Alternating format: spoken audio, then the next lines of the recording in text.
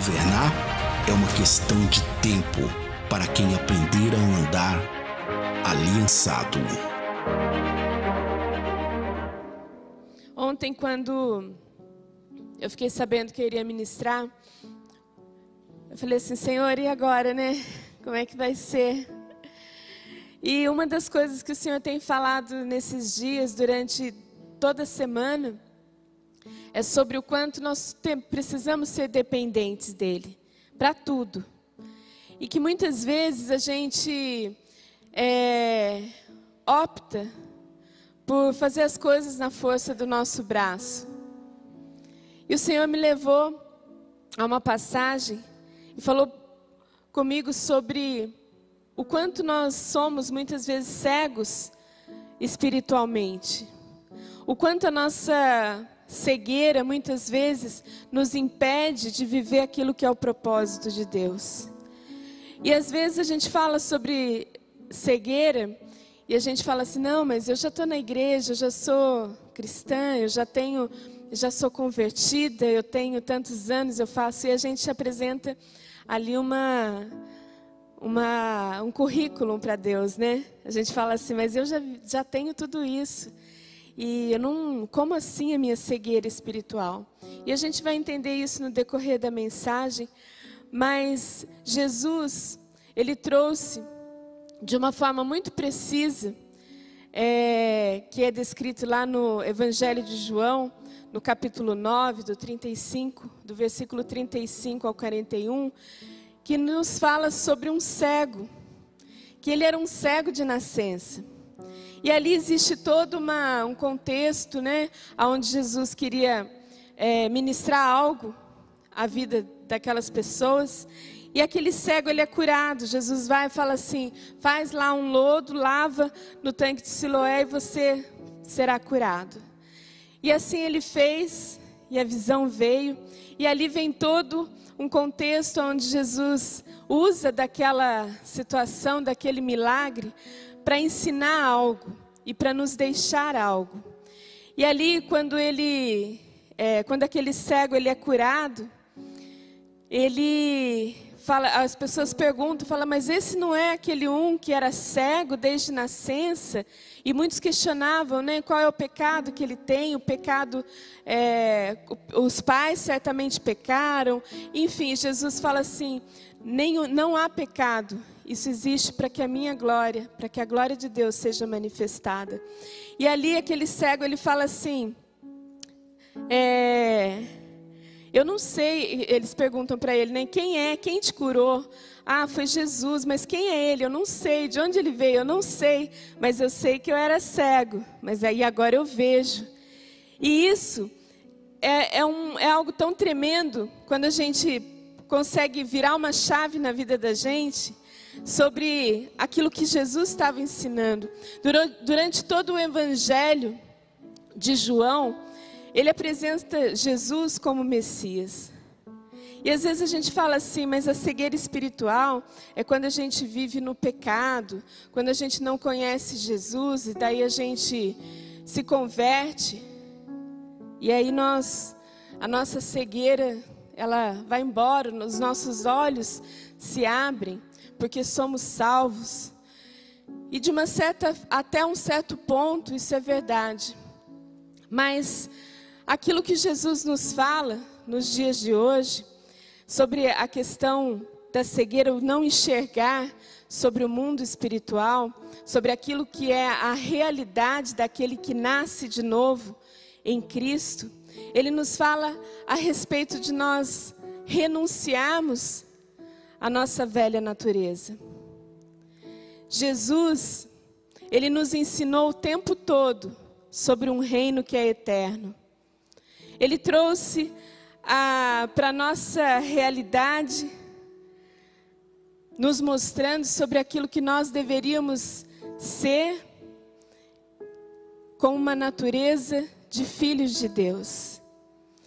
E às vezes a gente coloca a diferença, nós nos convertemos e achamos que aquilo ali já é o suficiente para que a nossa cegueira toda vá embora. E a salvação, ela é uma porta de entrada para que a gente consiga enxergar todas as coisas com os olhos de Cristo.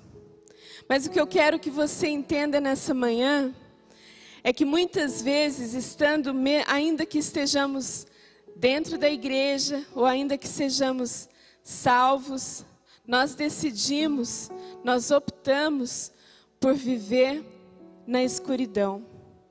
Em algumas áreas da nossa vida ou na nossa vida por completo, sem enxergar aquilo que o Senhor tem para nós, sem enxergar e sem decidir viver aquilo que é o propósito dele.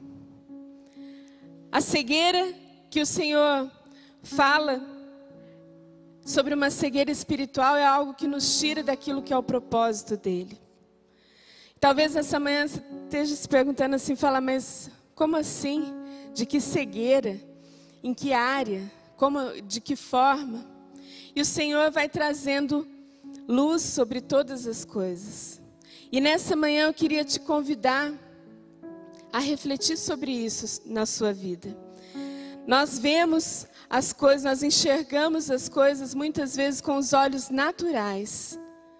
E a gente opta, decide viver uma vida por aquilo que nós conseguimos na distância do nosso olhar natural. Até onde eu consigo saber que eu consigo caminhar e ali vai dar certo porque eu tenho ido com a força do meu braço, eu tenho ido com aquilo que eu enxergo. Mas o Senhor tem nos tirado as vendas para que nós possamos enxergar algo muito mais além. Muito além daquilo que é o natural, mas aquilo que é a verdade, aquilo que é o propósito, aquilo que é o sonho dele sobre nós. Talvez você nessa manhã Assim como muitas vezes a gente olha e fala assim: eu tenho vivido dia após dia em cima do mesmo problema. As coisas não têm mudado, as circunstâncias têm continuado sendo da mesma forma. Mas o Senhor nos convida a optarmos a andar na luz e tirar toda a nossa cegueira, aquilo que nos limita de enxergar que somos filhos, que Ele tem um propósito muito maior muito maior e muito além daquilo que nós conseguimos ver. Talvez a gente olhe para as circunstâncias e ache que essas circunstâncias é aquilo que vai calar nossa voz, que vai trazer sobre nós um, uma verdade. E o Senhor olha e fala assim: tira essa cegueira dos seus olhos, tira essa forma de olhar, olhe, pense como Cristo, como aquele que tem sido gerado em você. Enxergue por aquilo que eu tenho falado, não por aquilo que você aprendeu a viver. Porque nós temos dois sistemas sobre nós, um de verdade e um de mentira. A verdade é Cristo sobre nós é a luz sobre os nossos sobre as nossas, os nossos pensamentos, é a luz sobre as nossas vontades, é a luz sobre aquilo que nós precisamos ser confrontados e direcionados para a mudança. E a mentira, que é aquilo que Satanás tenta dizer de quem eu sou. Satanás ele tenta o tempo todo roubar a sua identidade para que você não consiga enxergar, para que você não consiga ver de quem ou em quem você está. E isso é o que muitas vezes faz com que a gente esteja dia após dia, domingo após domingo, frequentando uma igreja, ouvindo a palavra, mas sem a decisão de mudança. Sem a decisão de ir mais além. Por que que muitas vezes a gente fala, a gente canta, a gente dança, mas dentro de nós as coisas continuam do mesmo jeito? Por que que muitas vezes é, a gente se coloca numa posição aonde por fora tá tudo bem e por dentro a gente sabe que as coisas estão fechadas. Por quê? Porque nós optamos por viver, muitas vezes, de uma forma míope, sem olhar com os olhos espirituais daquele que nos gerou, do Cristo que nos transformou, da forma como o Senhor tem trazido que muitas vezes nos tira do lugar de comodismo, do lugar de satisfação, porque ali é onde eu, eu conheço, eu sei até onde eu consigo ir. O Senhor nos tira dali para que a gente possa enxergar e ir muito mais além. As limitações que existem sobre nós, somos nós mesmos que permitimos. O viver aquilo que Cristo tem falado e tem gerado nesses dias, decide de nós renúncias. E sabe em que momento que eu decido andar na escuridão? Quando eu deixo que a minha vida seja governada pela desobediência, quando eu permito que a minha vida seja governada por aquilo que é a mentira, por uma, por eu decidir caminhar debaixo da minha vontade pessoal, daquilo que são os meus desejos originados da, mi, da minha natureza humana, mas não de Cristo. Vivemos, andamos, falamos, muitas vezes, mas sem permitir que aquilo que Cristo tem dentro de nós se torne luz para as outras pessoas. Se torne a razão da existência de muitas coisas. Às vezes a gente, por uma decisão equivocada de caminhar de acordo com aquilo que a gente consegue enxergar, a gente dá passos completamente contrários àquilo que Deus tem para nós. Mas de que forma isso pode acontecer? De que forma isso eu tenho conduzido isso? Cada um sabe dentro do seu coração. Mas muitas vezes o não ouvir ou o ouvir e não obedecer faz de nós cegos para aquilo que Deus tem. Às vezes nós nós já ouvimos muitas vezes as pessoas falando sobre estarmos no primeiro amor. Tem gente que fala assim: ah, o primeiro amor, que saudade do primeiro amor com Cristo, de quando eu me converti, de quando as coisas é, estavam acontecendo na minha vida, tudo era tão lindo. E isso é uma visão equivocada, porque aquele que era o seu primeiro amor, a cada dia que você anda, que você caminha, que você conversa, mais amor você tem e mais vida você tem. Quanto mais você caminha com Cristo, quando você conhece e vê que aquilo é um tesouro sobre a sua vida, quanto mais você anda, quanto mais você fala, mais você quer andar, nada esfria quando você ama. Mas por que que a gente fala assim, dentro daquilo que, ah, que saudade do meu primeiro amor com Cristo? Porque a gente conheceu a Cristo e decide muitas vezes caminhar com os próprios pés, sem a direção, sem o conhecimento. Hoje com Cristo, a minha vida tem muito mais sabor e muito mais colorido, porque quanto mais eu tenho caminhado com Ele, mais eu tenho vontade de me lançar nele. A cegueira na Bíblia ela está associada muitas vezes a uma morte espiritual e a luz associada à vida. Se eu decido andar com Cristo, se eu me entrego a Ele, se eu lanço sobre Ele todas as minhas ansiedades e vontades, todas as minhas debilidades, eu falo, Senhor, tudo que eu tenho é seu, todas as coisas que me atrapalham eu entrego a Ti, ao Senhor. Quanto mais eu ando com Ele, mais eu conheço, mais eu mergulho, e mais eu amo, e mais eu tenho vontade de andar com Ele. Mas às vezes a gente se ingessa durante toda a nossa trajetória e fala assim: ai, que saudade do tempo quando eu conhecia Jesus. E às vezes a gente está andando com Ele e perdendo a oportunidade, muitas vezes, de mergulhar nele. E quando eu falo andando com Ele, é caminhando muitas vezes uma vida cristã. E você pode entender o cristão como eu ouço falar de Jesus, eu vejo a forma como ele anda ou como eu deveria andar, eu sei das palavras que eu tenho que falar, mas existe uma diferença entre aquilo que nós ouvimos, aquilo que a gente vê as outras pessoas fazendo e daquilo que a gente vive. Quando eu decido, decido viver Cristo, aonde eu vou, eu levo essa luz.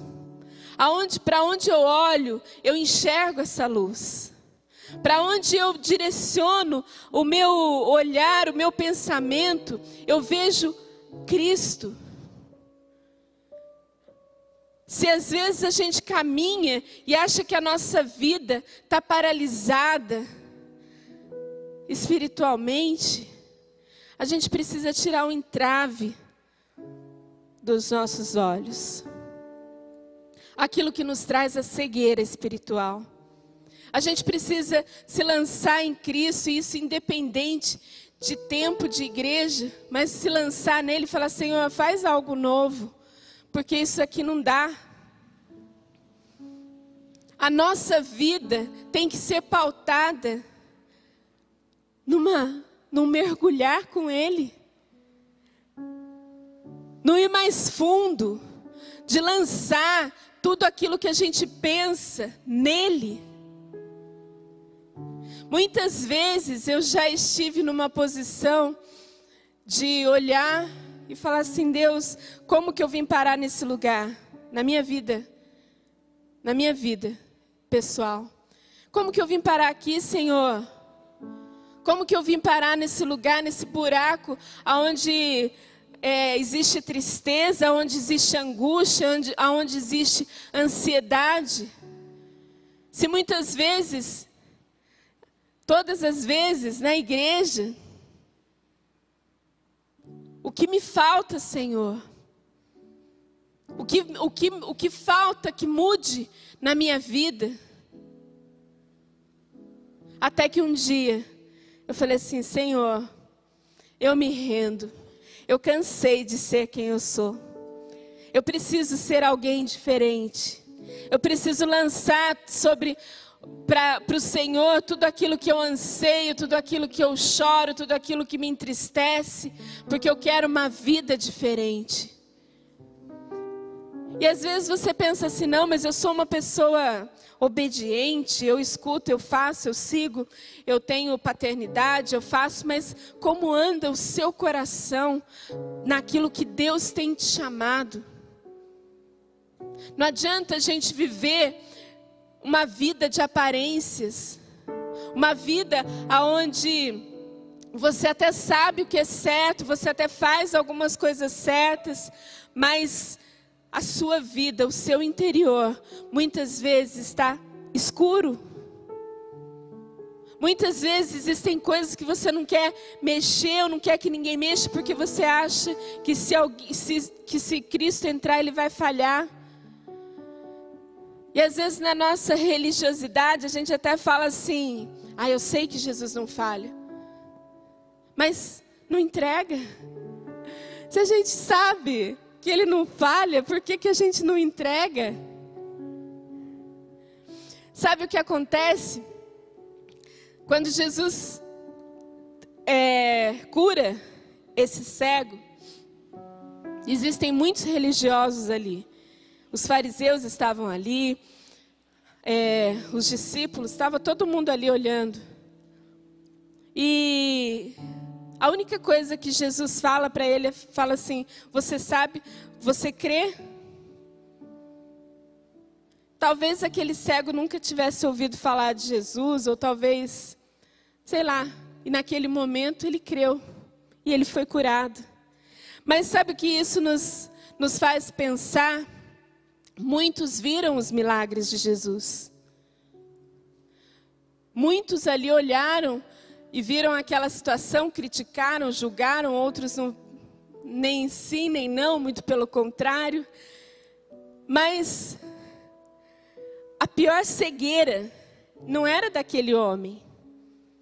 A pior cegueira era daqueles que enxergavam, porque não conseguiram ver aquilo que era o propósito de Deus, que era a glória dele se manifestando naquela vida. E às vezes a gente fala assim: puxa, como eles eram religiosos, como eles eram, não conseguiram ver. E se nós trouxermos para os dias de hoje? Hoje nós vivemos dentro de uma outra realidade, mas aquilo que muitas vezes a gente olha Jesus fazendo, a gente acha assim, faz na vida dele, mas não, não faz na minha.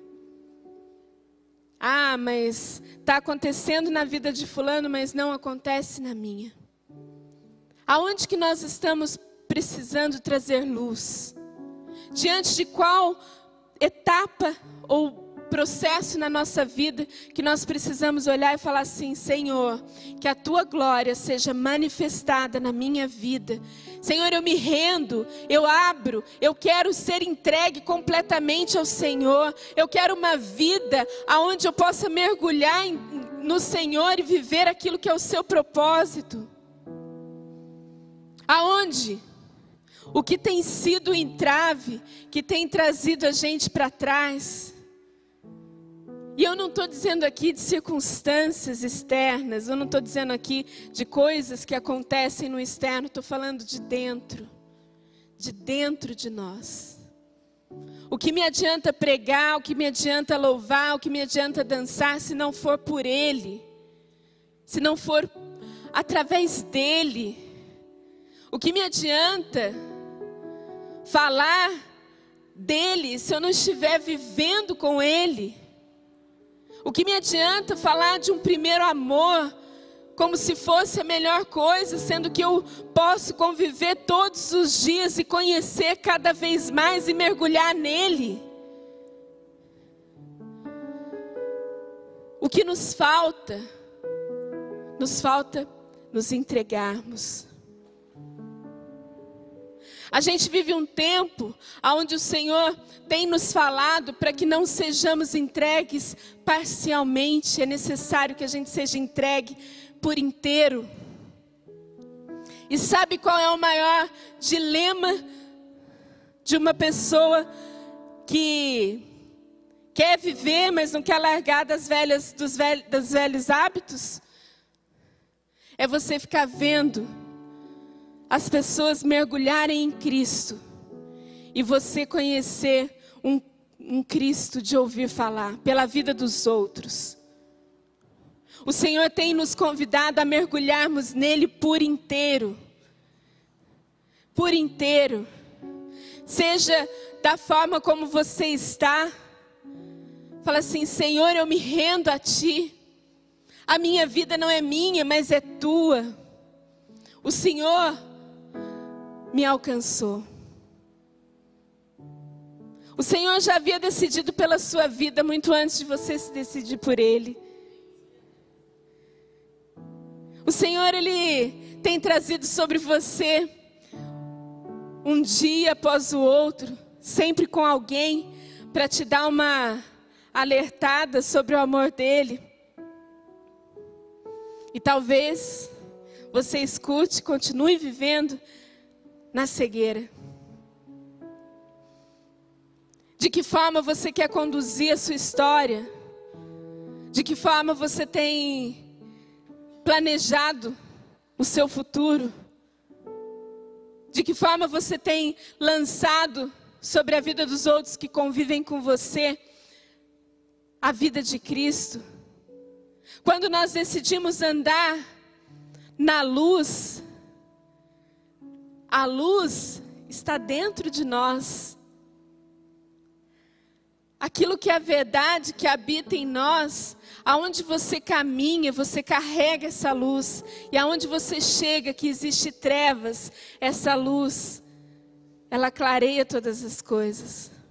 Como tem sido a nossa vida de alguém que mergulha em Cristo, aonde você anda, aonde você caminha, essa luz tem sido vida para as outras pessoas. Um dia, eu escutei uma coisa e eu fiquei muito feliz porque eu havia dado discipulado para uma pessoa e ela um dia testemunhando sobre a, a decisão de vida.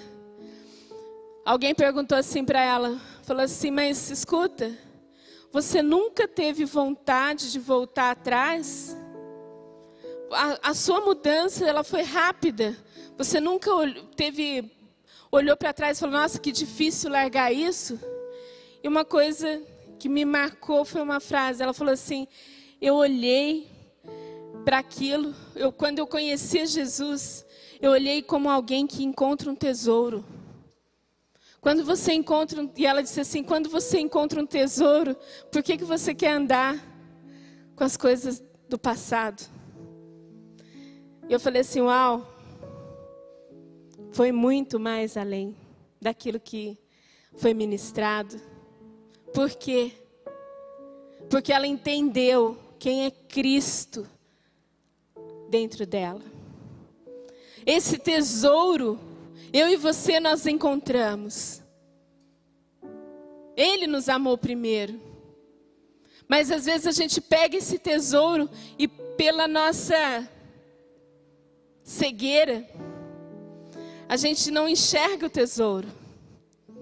E a gente fica lá com um baú milionário dentro de nós, com todas as riquezas guardadas em nós, mas a gente decide andar na escuridão. Decide, a gente opta por viver uma vida na escuridão.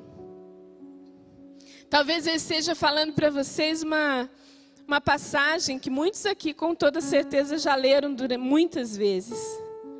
Mas, muito mais do que ler, eu quero que nessa manhã a gente consiga refletir sobre isso. O trabalhar de Deus na minha e na sua vida, daquilo que nós vivemos, é muito mais além daquilo que a gente acha que é a visão de sucesso. Talvez hoje eu viva a, a, a circunstância aparente a, a menos favorável que eu já tive. Mas aquilo que eu conheci e conheço de Cristo, eu mergulho todos os dias nele. Eu não tenho saudade do meu primeiro amor, porque o meu primeiro amor, ele continua sendo o meu primeiro amor. Eu ando com ele, caminho com ele, vivo com ele todos os dias. O meu primeiro amor continua sendo o meu grande amor, que é Cristo. Não há como eu andar com Ele todos os dias, conhecendo, decidindo me render a Ele e não ter profundidade naquilo que Ele, que Ele enxerga sobre a minha vida. Muitas coisas permanecem sendo um processo comigo mas em nenhum momento eu olho para trás e falo assim: ah, aquilo que eu vivi, que saudade que eu tenho daquele tempo, daquele tempo que eu comecei com Cristo. Eu olho para aquele tempo, eu olho para o meu passado e falo assim: que bom que eu tomei essa decisão, porque hoje eu amo muito mais, eu mergulho muito mais. E a cada dia tem sido um aprendizado, mesmo diante de todos os processos da minha vida diante de todos os processos financeiros, diante de todos os processos pessoais, diante de todas as circunstâncias de fracasso, eu olho para a minha vida hoje e falo assim: que bom que eu optei andar com Cristo, porque eu tenho conhecido a cada dia mais um Deus, um Senhor, alguém que me ama e que eu tenho prazer em mergulhar nele. Chega da gente ficar vivendo um evangelho de aparências. Chega da gente ficar vivendo um evangelho porque eu quero parecer algo espiritual. Eu não quero parecer nada. Eu quero ser, eu quero andar, eu quero viver como Cristo. Se para isso eu tenho que renunciar muitas coisas, eu renuncio. Se para isso eu preciso ser confrontada com muitas coisas na minha vida, eu aceito. Porque nada, nada pode me fazer mais feliz e mais plena do que andar com aquele que desde o início me escolheu. As perdas que Paulo fala que são ganhos, isso daí é uma é uma chave que a gente precisa virar na nossa vida. Aquilo que a gente acha que nós perdemos, perdemos o quê? Perdemos a nossa, a nossa mediocridade, perdemos a nossa natureza adâmica, a natureza de pecado. Perdemos muitas vezes aquilo onde a gente se segurava e achava que era a salvação da lavoura. Perdemos aquilo que você achava que era a sua visão de sucesso. Mas ganhamos, porque conhecemos um Deus que criou todo o universo. Mas ganhamos porque um Deus tão grandioso deu o seu único filho para que nós pudéssemos andar com Ele, desfrutar dele por toda a nossa vida e por toda a eternidade. Se a gente entender que aquilo que o Senhor traz sobre nós é algo genuíno e profundo, a sua vida nunca mais será a mesma. Independente de quantos anos você tenha de igreja, independente de quantos anos você já ouviu falar de Jesus, se você se entrega por aquilo que você tem ouvido, nunca mais a sua vida será a mesma. Tem um ditado que diz assim: o pior cego é aquele que não quer ver. E eu falo assim: o pior cego é aquele que não quer escutar. Por quê? Muitas vezes a gente está num, num período de cegueira na nossa vida. Mas se eu escuto a voz de Deus, aquilo que me traz cegueira é tirado fora. O pior cego, cego não é aquele que não quer, não quer ver, é aquele que não quer ser conduzido. É aquele que não se permite ser guiado. Pode um cego guiar outro cego? Não. Mas, se eu estou cega e eu escuto uma voz e eu me direciono por aquela voz, eu vou para o caminho certo. Agora, se eu estou cego e eu escuto uma voz, Adriana, não vai por esse lado.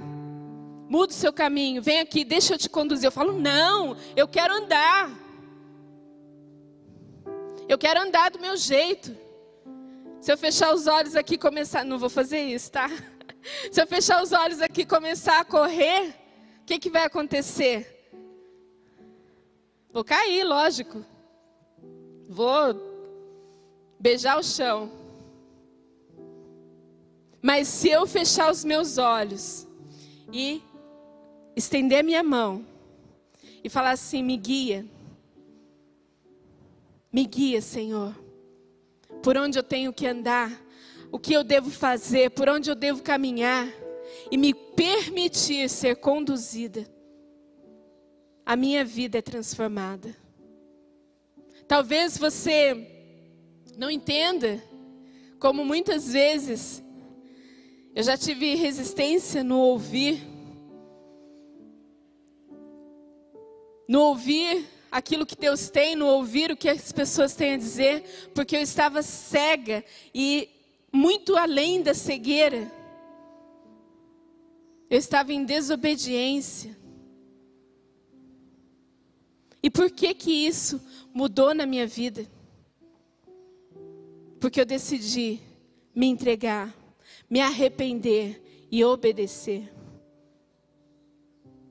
A obediência nos protege. A gente escuta falar isso o tempo todo aqui. E que obediência é essa?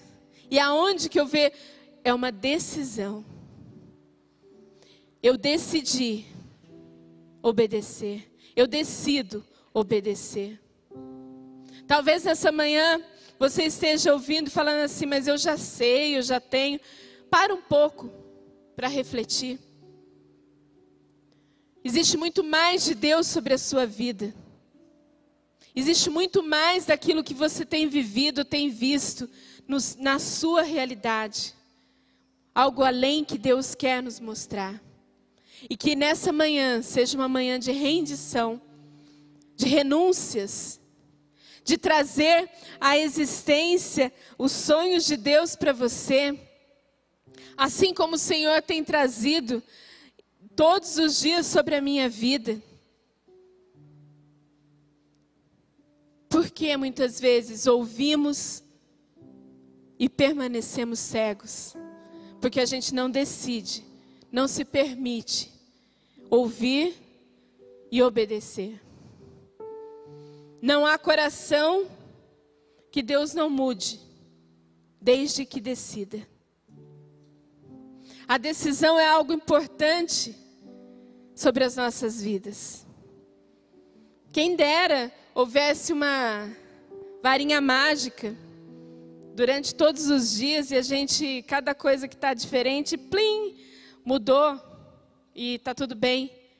Com Deus, o nosso Deus é um Deus de processos. Ele é um Deus que muitas vezes permite algumas circunstâncias para que a gente possa aprender quem nós somos nele.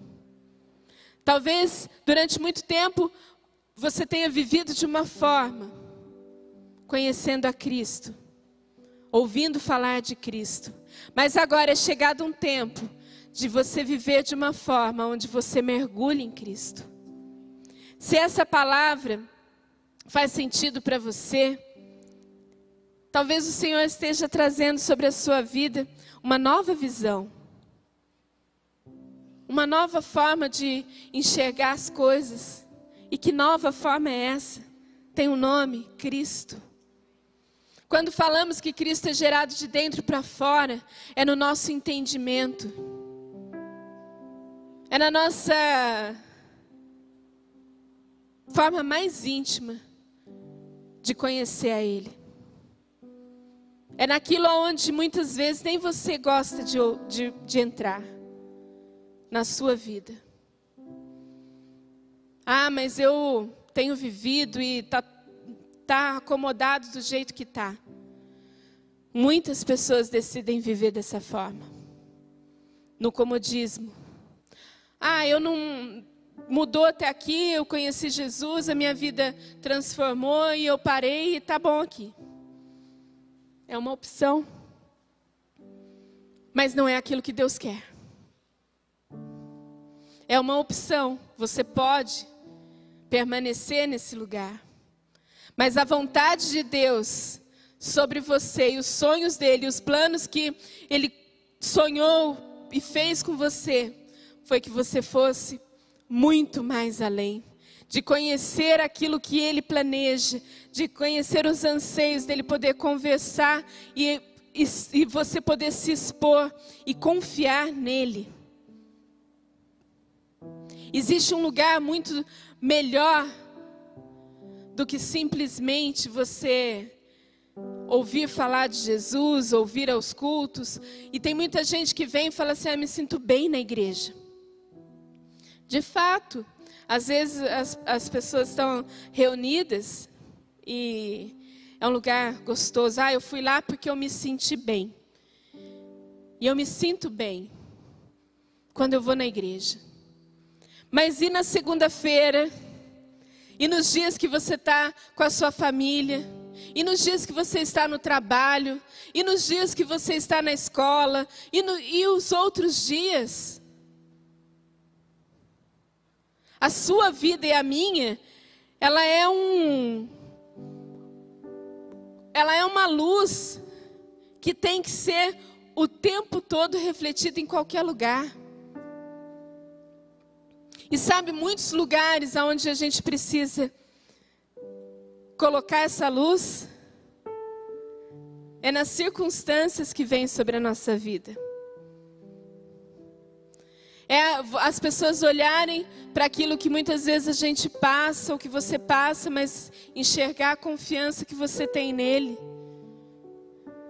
Muitas vezes vem sobre nós dificuldades, falência, Muitas vezes vem doença, mas o que nos faz permanecer? Se eu ficar diante das circunstâncias, lembrando do meu primeiro amor com Cristo, ou eu ficar a olhar para as circunstâncias e ver Cristo sendo gerado na minha vida todos os dias, todos os dias, nada pode me entristecer e me fazer paralisar. Entristecer, a gente até às vezes dá, entristece, uns momentos tristes. Mas isso não faz da nossa uma diretriz sobre a nossa vida. Dias difíceis, dias de confronto, dias de decisões, mas em todos eles eu conheço quem é o Deus que me sustenta. Qual é a vida que tem sido manifesta no meu coração. E aqui não, não tem nada a ver com tempo de casa, tempo de igreja, tempo de nada. Tem aquilo que você tem a ver com aquilo que você decide viver, com aquilo que você decide falar. A cegueira espiritual é muitas vezes uma decisão de viver fora do propósito de Deus. Vivendo na igreja, também se pode, pode se estar com uma cegueira espiritual. Que o Senhor possa nessa manhã trazer luz sobre o nosso entendimento, trazer luz sobre as áreas que nós precisamos direcionar e mudar, sobre as áreas que precisam ser entregues. Não existe nada melhor do que você se entregar a Ele. Quando não conhecíamos a Cristo e alguém nos apresentou essa verdade, o nosso coração se encheu de alegria. E ali houve uma nova oportunidade. E hoje, depois de tantos anos com Cristo, o meu coração se enche de alegria todos os dias por uma nova oportunidade. Aquilo que o Senhor tem gerado não depende das circunstâncias, depende da nossa renúncia. Quando você entra, não tem como você caminhar na luz e as circunstâncias à sua volta, as pessoas, as vidas, não desfrutarem, não, não olharem para essa luz. Que nós possamos ser aquilo que o Senhor sonhou para nós. Se entregar todos os dias, se render a Ele e se arrepender dos nossos pecados. Que pecado é esse? a nossa desobediência, a nossa altivez, o nosso achismo, o nosso egoísmo. Não, porque aquilo que não acontece comigo, eu não vejo aquilo isso acontecendo comigo, comigo, comigo, o meu umbigo. Que seja um tempo da gente descansar no Senhor, porque nós nos rendemos. Senhor, tudo é teu. Aquilo que não vale nada, Senhor, eu renuncio, eu jogo fora. Não deu certo, não vai dar certo nunca. Porque o Senhor não está tomando as decisões. Mas a partir de agora, eu decido entregar a minha vida por inteiro. Por inteiro. Somos temos que ter integridade naquilo que nós vivemos. Aí a integridade vem daquilo que nós somos inteiros. Você é inteiro no Senhor? Você é inteiro em Cristo? O Senhor está te chamando a isso. Estarmos por inteiro. O propósito de Deus, aquilo que a gente tem vivido nesses dias e aquilo que vai ficar, aquilo que está sendo construído na história, é por inteiro. Você pode decidir na sua vida ter uma vida lembrando do seu primeiro amor, ou você pode olhar para isso e falar assim: eu descobri um tesouro naquela época, eu desfruto disso e eu quero cada vez mais mergulhar nele. O que você decide nessa manhã? Ou o que você decide nesse dia? Chega do nosso eu, chega da nossa infantilidade, chega da nossa rebeldia mas por inteiro. Amém? Coloque-se de pé. O Senhor tem trazido no dia de hoje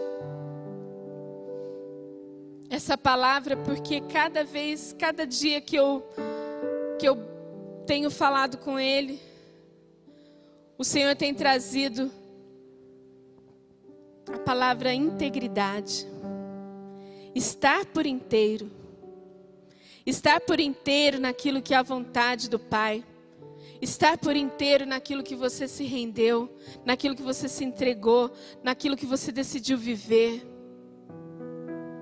Não passe uma vida escutando palavra após palavra, domingo após domingo, na mesmice com o mesmo entendimento que você tinha há anos atrás, com a mesma questão de anos atrás. Não há ninguém que tenha se entregado a Cristo por inteiro que a sua história não tenha sido transformada. Mas às vezes a gente dá, fala, Senhor é teu, e pega de volta. Senhor é teu, mas está segurando aqui. Senhor, eu entrego a minha vida, mas essa área eu não vou crer, não. Essa área não dá, não, Jesus. Isso daqui, a minha verdade continua. E a gente decide viver um sistema de mentira que Satanás tem todo planejado sobre as nossas vidas. As estratégias de Satanás são sempre as mesmas, não muda. A gente só não vê porque decide caminhar em cegueira. Mas aquilo que o Senhor traz, a luz, a verdade, o amor, aquilo que te tira da sua zona de conforto e traz sobre você discernimento, é essa verdade que vai fazer com que a sua vida seja transformada. Nenhuma pessoa, nenhum ser humano pode transformar você. Somente Cristo. E ninguém também pode decidir por você. Somente você. As pessoas podem nos conduzir, nos ajudar no direcionamento, mas a chave e a decisão é nossa. A decisão de viver por inteiro uma vida com o Senhor é nossa. Então, que nessa manhã seja uma manhã de reflexão. Não adianta a gente querer viver uma verdade, falar eu vivo por Cristo, eu me entreguei a Ele, eu tenho isso, mas eu vou dar um passinho para cá e tomar a decisão que eu acho que tem que ser tomada. Eu sei, eu escuto essa verdade, mas aqui ninguém mexe. Se entregue por inteiro. Se permita ser lançado nesse amor que não é simplesmente o seu primeiro amor, mas é o seu único amor. Se permita ser inundado por esse amor de Cristo. E entenda que vai ser um tempo onde o Senhor vai retirar de você muitas coisas que não agradam e que não pertencem, que não fazem parte do seu propósito. Mas é necessário uma decisão. Vamos orar? Vamos que seja que talvez você nunca fez essa oração na sua vida. Ou talvez você já tenha feito muitas dessas orações na sua vida. Mas que seja algo por inteiro. Genuíno. Lança sobre ele toda a sua ansiedade. Lança sobre ele tudo aquilo que, que te atrapalha. E permita ser aconchegada por esse amor. Pai, nós te agradecemos porque o Senhor traz luz sobre todas as circunstâncias na nossa vida. O Senhor nos faz filhos, mas filhos que têm todos os direitos naquilo que o Senhor conquistou para nós. Senhor, nós sabemos que muitas vezes os nossos caminhos são direcionados pela nossa vontade. Mas, Pai, que nessa manhã seja uma manhã de arrependimento, uma, uma manhã de conversão dos caminhos, uma manhã aonde o Senhor, eu, eu estou declarando que o Senhor toma conta da minha vida por inteiro. Espírito Santo, conduza todas as coisas. E Pai, nessa manhã eu quero orar por cada pessoa que tem ouvido essa palavra. Por cada pessoa aqui presente, por cada pessoa que está ouvindo, por cada pessoa, Senhor, que virá ouvir. Que o Teu Espírito Santo encontre lugar para que essas palavras sejam lançadas, Pai para que essas palavras venham trazer vida, que a tua vida seja gerada em cada pessoa. Senhor, que seja um tempo de pessoas que se rendem por inteiro. Nós te damos graças por isso, Pai. Obrigada, Jesus. Amém. Governar é uma questão de tempo para quem aprender a andar aliançado.